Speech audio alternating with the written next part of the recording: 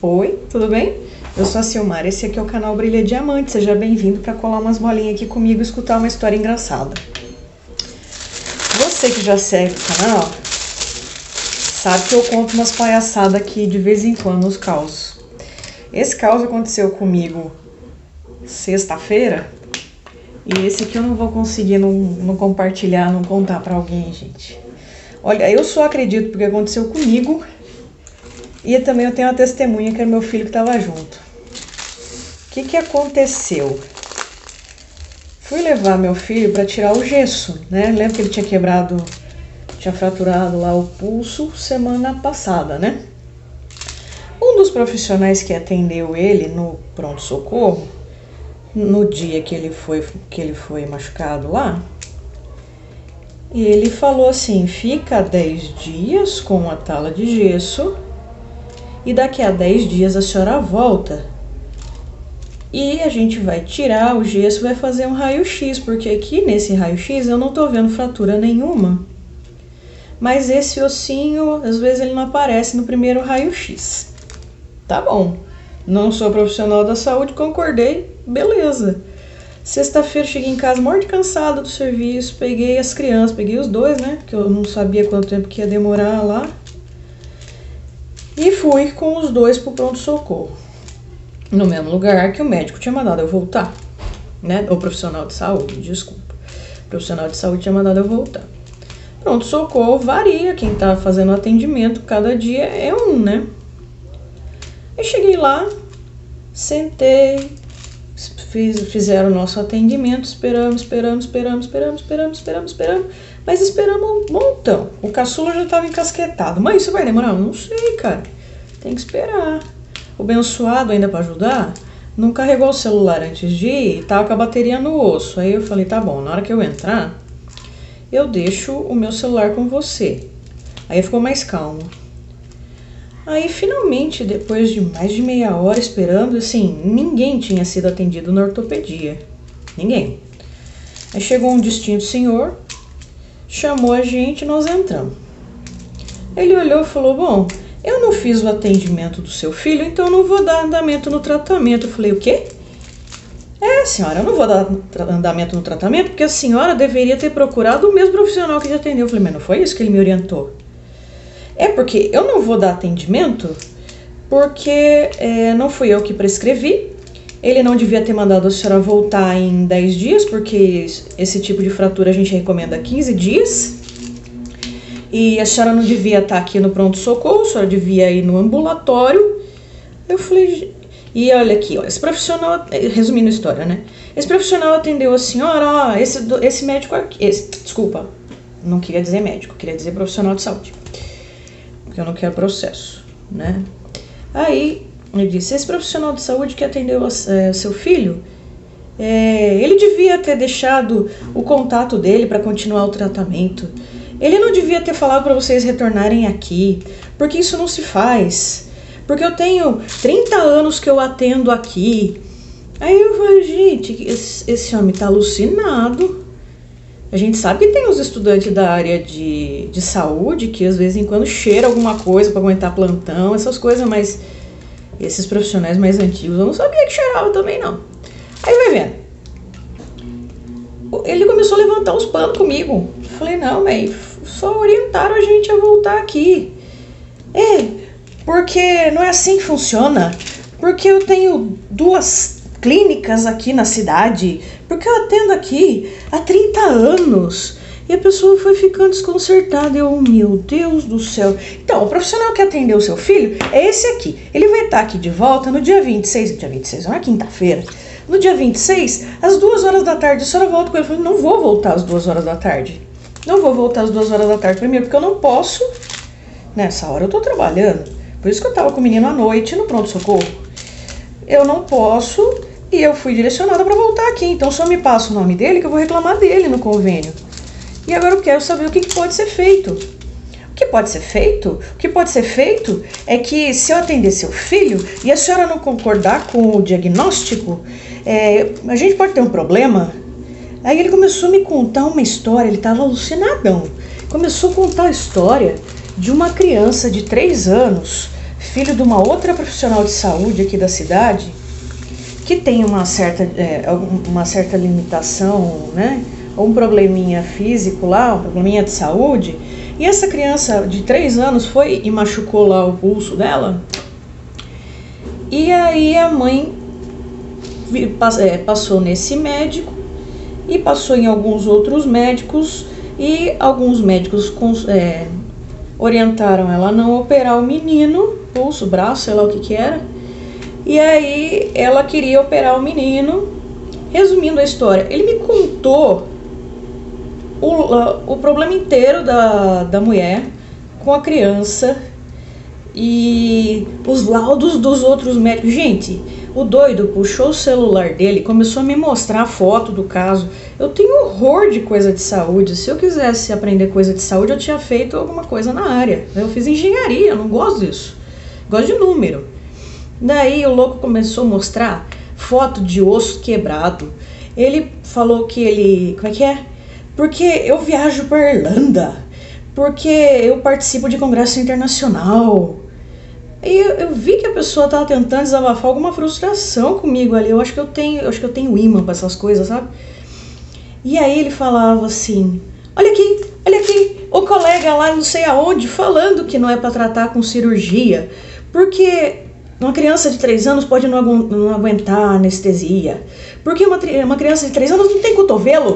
A criança de 3 anos não tem cotovelo. Ele pegou no meu braço assim e falou: Tá vendo isso aqui? Não tem cotovelo. E assim, meu filho tava do lado.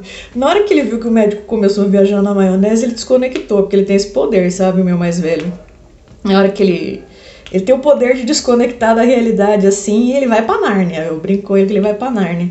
Então é só, ele já não tava prestando atenção, mas até esse negócio do homem pegar em mim e mostrar que criança não tem cotovelo, ele mostrou. E aí o homem tava assim, empolgadaço contando a história para mim. E ele estava nervoso e até aí ele não tinha decidido o que, que ia fazer ou não com meu filho.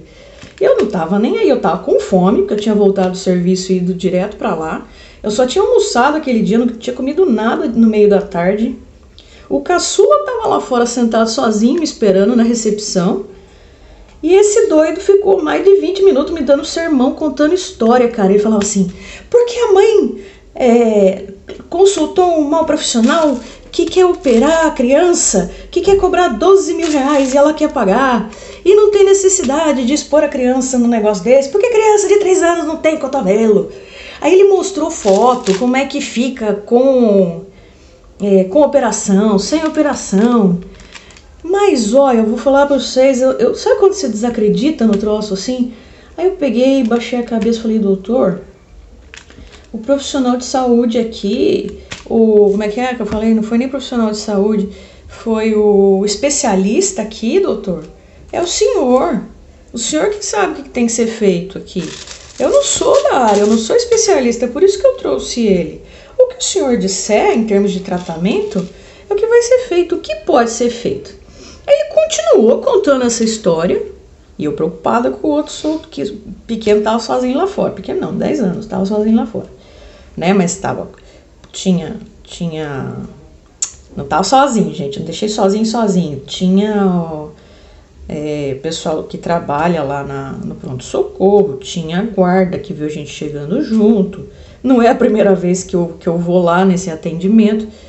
Então, assim, o homem doido falando, doido, ele tava alucinado, ele tava fora de si, cara.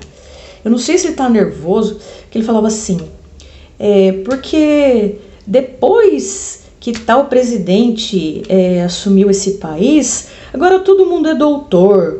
Os médicos perderam, é, como é que é? Perderam respeito. E lá no Japão, quando você encontra um médico, você faz reverência, você pede com licença, senhor, para falar com ele. Agora, agora qualquer um quer processar médico, porque o pobre ganha processo, mas ela, é, ela tem dinheiro, ela vai se ferrar se ela me processar desse nível, gente. Vocês acreditam? Não, não tô exagerando, não tô exagerando. Tô, tem aqui meu filho que tá do meu lado, escutando. E assim, não me deixa mentir sozinha, sabe? Eu brinco sempre assim, falar, ah, fulano não me deixa mentir sozinha. Mas não é mentira não, o pior de tudo é que foi o que aconteceu. Sabe quando você fica assim, pasma? mas assim, Silmara, você não tá falando coisa com coisa. Pois é, eu tô contando exatamente o que aconteceu naquele consultório, cara. O homem não falava coisa com coisa e eu já tava assim, falei, meu Deus, o menino tá desesperado para tirar essa tala do braço. O outro já tá de saco cheio de lavar louça todo dia sozinho, porque eles revezam lavando louça aqui em casa, a gente se ajuda, sabe? Eu falo que quando um ajuda o outro, ninguém fica sobrecarregado, né? mas o outro com a, com a mão engessada ia lavar louça que jeito. Então tava todo mundo já, né? E o primeiro médico, aquele da semana passada, que não devia ter mandado a gente voltar no pronto-socorro, porque nós deveríamos ter ido para o ambulatório, de acordo com o doido que atendeu a gente na, na sexta. Quer dizer, eu tô dizendo doido, gente, porque a pessoa tava fora de si. Tem umas coisas que a gente só acredita quando acontece com a gente. Se me contasse, eu falo, gente, se me contar, né, nem eu acredito. Aí na hora que eu saí, eu falei, filho, eu falei pro caçula, você não acredita o que aconteceu lá dentro. Aí o que, que aconteceu? Eu fui contar pra ele, falei, não, não é possível, mãe. A criança de 10 anos falando que não era possível o que tinha acontecido, mas é possível o que aconteceu, é possível. Aconteceu conosco.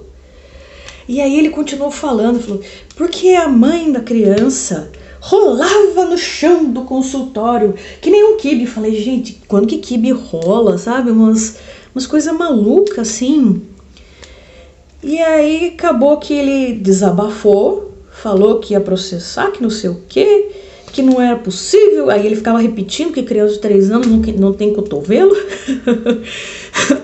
Ai, gente, olha, eu tenho que rir, viu? Quando eu lembro essas coisas. E aí ele soltou essa e aí eu falei, tá bom, doutor. E não, então vamos tirar a tala do seu filho? Vamos tirar a tala? Quer tirar a tala? Vamos tirar a tala? E aí já faz um raio-x, pensei comigo, falei, miserável. Quer ver que esse fia da mãe vai mandar tirar a tala, vai fazer o raio-x e depois só para segurar o primeiro diagnóstico da hora que a gente entrou, ele vai fazer o menino ficar mais cinco dias com, com coisa de gesso? Aí eu falei, tá bom, doutor, e agora o que a gente faz? Aí encaminhou nós lá, tirou a tala, fez o raio-x e tava perfeito o osso do menino. Não, e agora então eu vou passar mais cinco dias aqui de fisioterapia para ele. E aí aqui tá o telefone do meu consultório, a senhora leva ele lá de volta, que eu quero ver como é que ficou depois do depois do da fisioterapia. Aí ele pegava e apertava assim o braço do menino, sabe? Do meu filho. Falava, dói aqui? Não. Dói aqui? Não. Dói aqui? Não. Dói aqui? Não. Ah, então, porque. Então quer dizer que tá melhor, mas. Mas leva ele lá. Ele anotou o, o negócio lá da, da prescrição da fisioterapia. Aí ele anotou o telefone, ele, ele deu o negócio, o papel da fisioterapia, continuou falando né, pra, ir lá no consultório dele, no carro, não sei o que, e despediu a gente. Eu falei, o doutor, e o telefone da sua clínica? Assim, assim, tá aqui. Mas olha, você sabe quando você fica assim? Eu falei, gente, a pessoa tá com problema. É uma pessoa que pode ter uma inteligência absurda para várias coisas, mas a inteligência emocional naquele momento devia ter ficado guardada em alguma gaveta, sabe?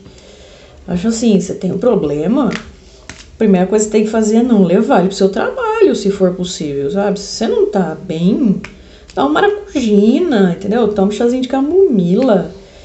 Mas o que aconteceu com a gente lá, eu, eu, falo, só acredito porque foi comigo.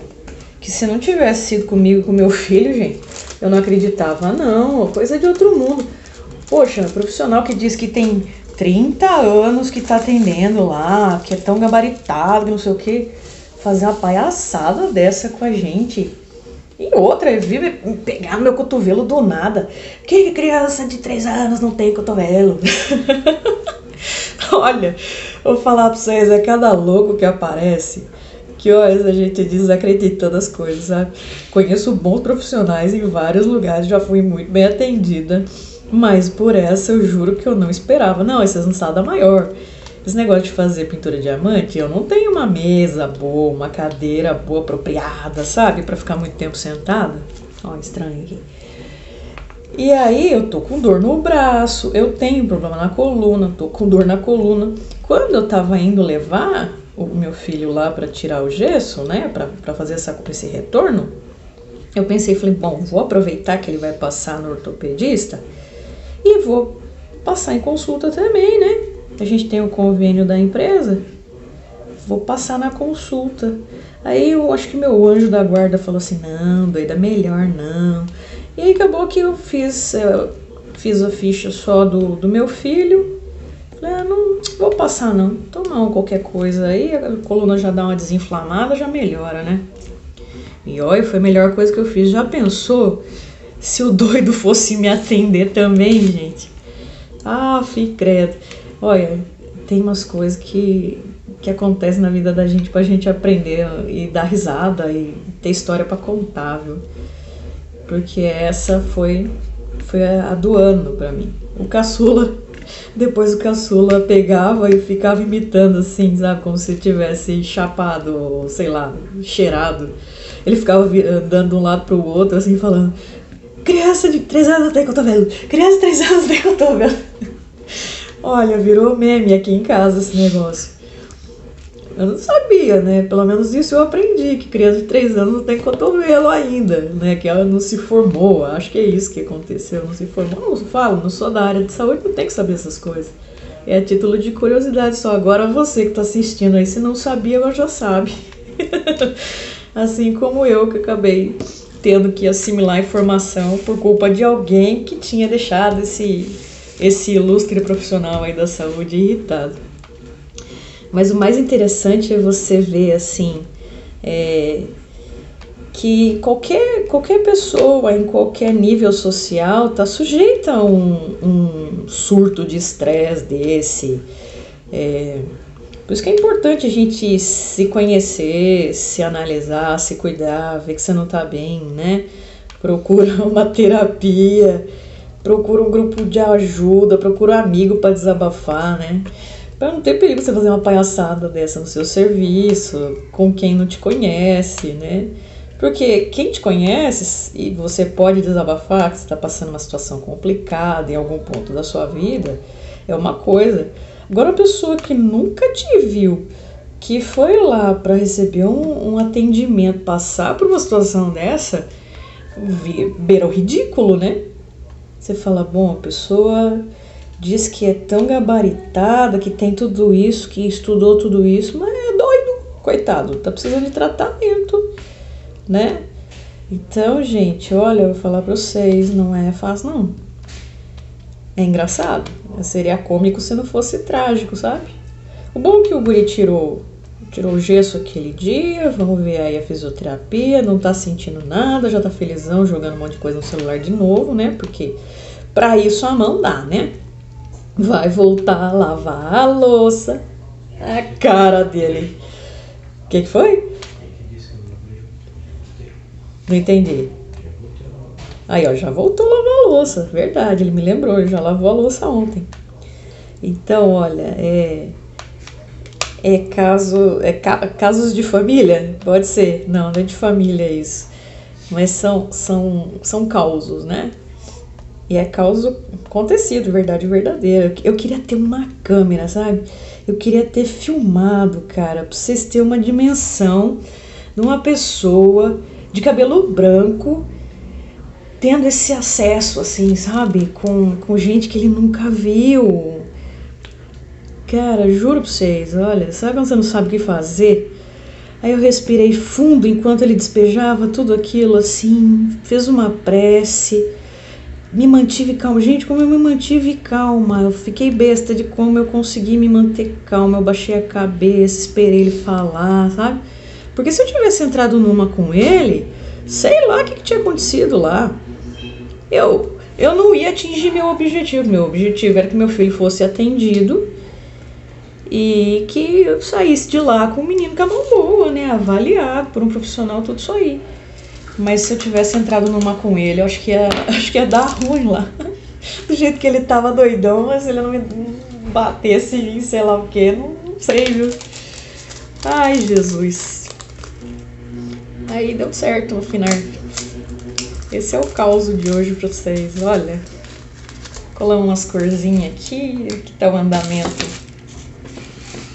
da tela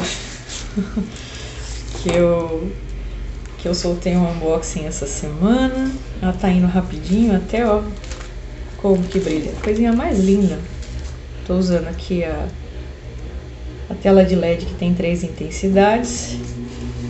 Então, gente, obrigado por acompanhar aí a lorota da semana. Quando vocês quiserem escutar mais palhaçada, me avisa, tá bom? Que a história dessa para contar sempre aparece. Beijo, até mais.